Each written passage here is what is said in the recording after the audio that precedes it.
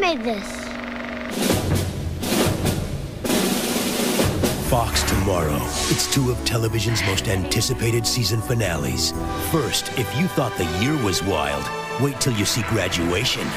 You're bringing a loaded gun onto school property. What are you doing? Boston Public. Then, Ally McBeal is going where no grown woman has gone before. The high school prom.